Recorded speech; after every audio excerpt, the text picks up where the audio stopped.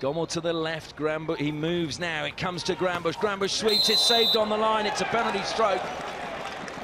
Hit the defender on the body, and the rule is if the goalkeeper is beaten and there's a defender behind him and it stops the ball going into the goal, it is a penalty stroke. Pardeep Mor, the man guilty.